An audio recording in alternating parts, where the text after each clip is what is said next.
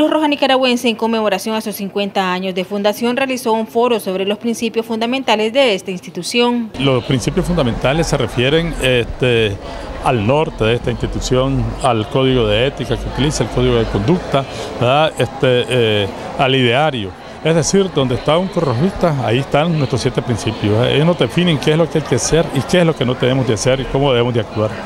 Así es que eh, de eso se trata, pues, ¿verdad? Eh, los siete principios son los que, lo que hacen a esta institución ser una institución diferente. En dicha actividad estuvieron presentes representantes de distintas instituciones, entre ellos la Defensa Civil, Bomberos y Procuraduría para la Defensa de Derechos Humanos. Con Cruz Roja eh, hemos venido también siendo parte de la Comisión Interinstitucional de Gestión de Riesgo ante Desastres y Hemos también luchado para que haya una atención incluyente, donde participen todas las personas con discapacidad.